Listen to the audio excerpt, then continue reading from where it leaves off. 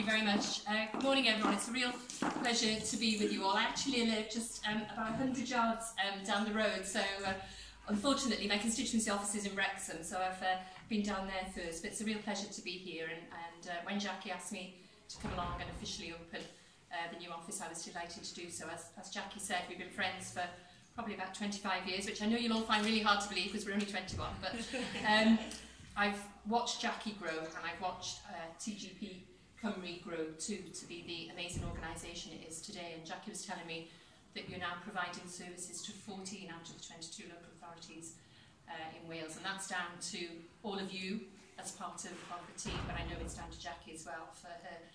tenacity. I know what she's like when she wants something done.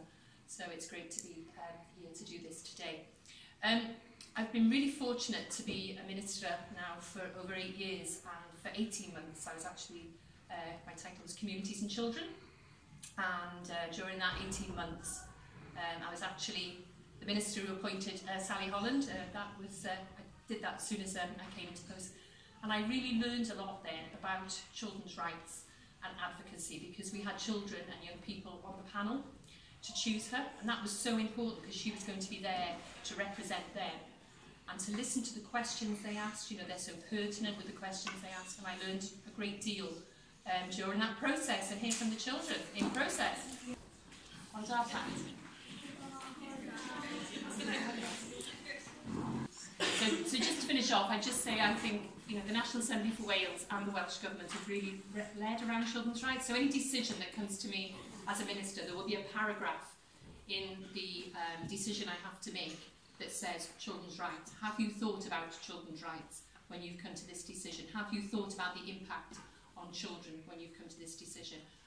And I don't think there's any other country um, that does that. So I think Jackie's right, you know, we've, we've really got here because of, of people like Jackie and, and all her team the tenacity and, you know, the, the, the will to do this. And I think, you know, you say it's in a really good place now, a much better place than when the Assembly first came in uh, 19 years ago.